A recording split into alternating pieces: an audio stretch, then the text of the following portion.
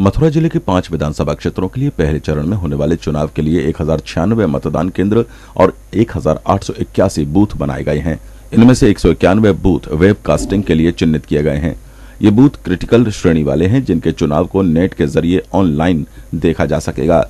ये ऑनलाइन प्रसारण web casting के ज़रिए किया जाएगा, जिसके लिए जनपद के कॉमन सर्विस सेंटर्स संचालकों की ड्यूटी लगाई गई है।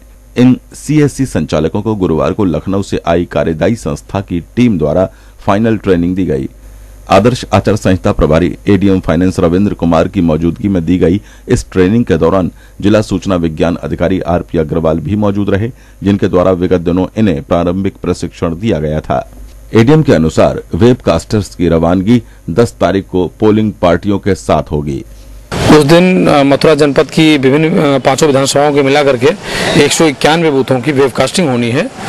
उन उसके लिए भारत निर्वाचन आयोग द्वारा एक एजेंसी तय है। उसके लिए टेक्निकल व्यक्तियों की आवश्यकता थी, जिसके लिए आज पाँचों विधानसभाओं के अलग अलग ब्रीफिंग के लिए बुलाया गया था।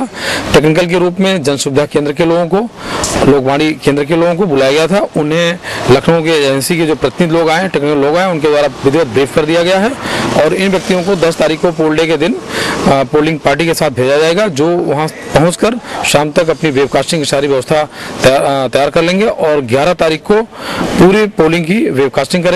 और शाम को पोलिंग पार्टी के साथ वापस मंडी समिति में आकर के सारा इंस्ट्रूमेंट जमा करेंगे। एक बात बताएँ कि ये जो वेबकास्टिंग होगी इसको आम जनमानस भी देख सकेगा? ये ऑनलाइन होता है वेबकास्टिंग ऑनलाइन होता है कोई भी देख सकता है। तो उसके लिए कौन सा लिंक होगा? वो हम आपको डिटेल बता देंगे। वो तो डिटेल 10 तारीख को ओपन कर दिया जाएगा न्यूज़ में भी अखबारों में भी।